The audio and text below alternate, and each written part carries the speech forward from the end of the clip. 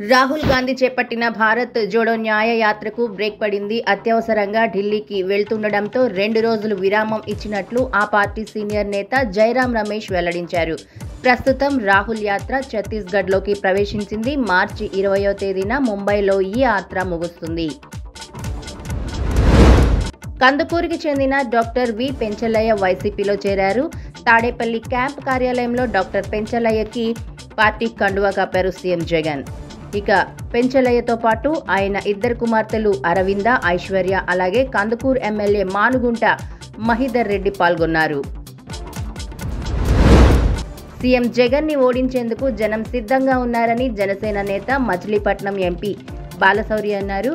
ఏపీలో ఇసుక విధానం జగన్ దోపిడీ కోసమే అన్నట్టుగా ఉందని విమర్శించారు. బంగారం ధర తగ్గుతుందేమో కానీ ఇసుక ధర తగ్గడం లేదన్నారు బాలశౌరి. భారత ఆర్థిక వ్యవస్థపై ఆర్థిక మంత్రి నిర్మలా సీతారామన్ లోక్సభలో శ్వేతపత్రాన్ని ప్రవేశపెట్టారు. ఇక ఈరోజు లోక్సభలో అందులోని అంశాలపై కీలకమైన చర్చలు నిర్వహించనున్నారు. ప్రస్తుతం జరుగుతున్న పార్లమెంట్ బడ్జెట్ సమావేశాలు ఫిబ్రవరి పది శనివారం వరకు జరగనున్నాయి.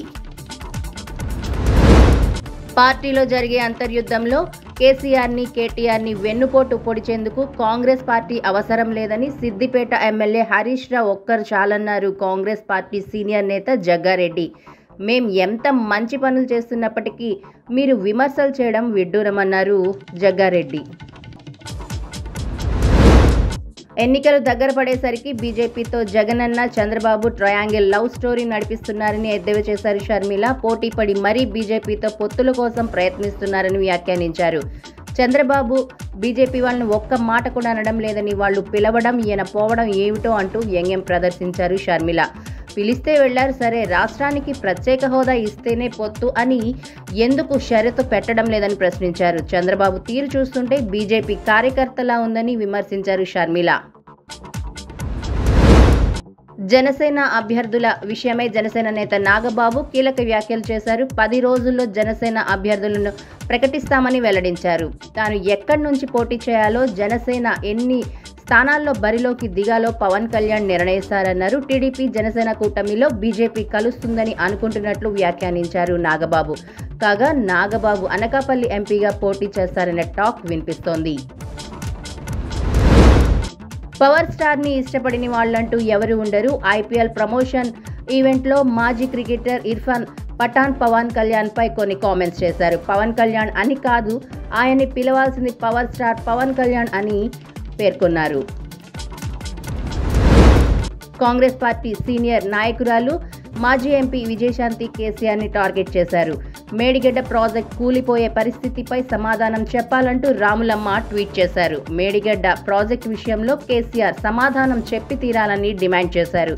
తెలంగాణ ప్రజల పట్ల ఏ మాత్రం బాధ్యత లేకుండా చేసిన దుర్మార్గానికి తగిన ఫలితం ఎవరికైనా తప్పక ఉంటుందని వ్యాఖ్యానించారు రాములమ్మ.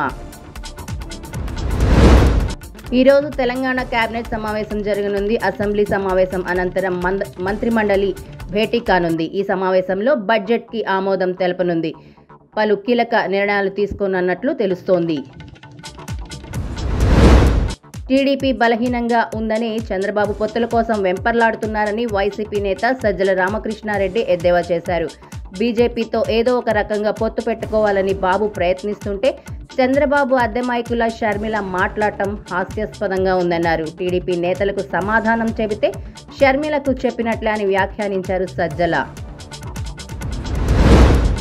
భారత అంతరిక్ష పరితో పరిశోధనా సంస్థ ఇస్రో మెరుగైన వాతావరణ అంచనాల కోసం GSLV F fourteen INSAT DS మిషన్ను ప్రయోగాన్ని చేపట్టనుంది. ఫిబ్రవరి పదిహేడు రెండు వేల ఇరవై నాలుగున సాయంత్రం ఐదు గంటల ముప్పై నిమిషాలకు శ్రీహరికోట నుంచి జిఎస్ఎల్వి ఎఫ్ ఫోర్టీన్ రాకెట్ను ప్రయోగించనుంది.